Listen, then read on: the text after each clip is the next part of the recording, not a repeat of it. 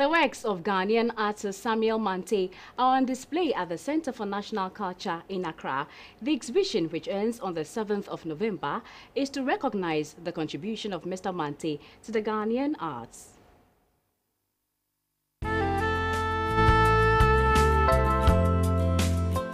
Abstract, semi-abstract and realism are some of the paintings on display at the Art Center in Accra. These are the works of a 60-year-old Samuel Kwesi Mantey. In all his paintings, he uses what he calls natural things around him to depict his feelings. He explains the motivation behind his works using one of his creations.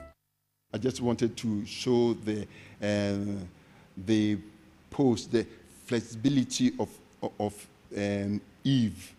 This is the images of Eve. You know, each uh, pose um, gives a complete picture, the uniqueness of the female figure.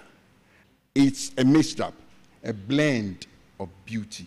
Having painted for 44 years, Mr. Mantey is well exposed to what pertains in the arts, specifically painting industry.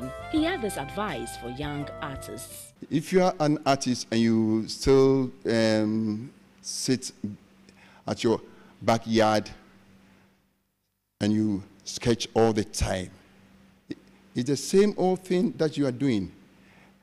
And the same bed that you see around will get bored and will never be there one day. But if you move around, you move to another location, there'll be a lot of beautiful sceneries for you to work on.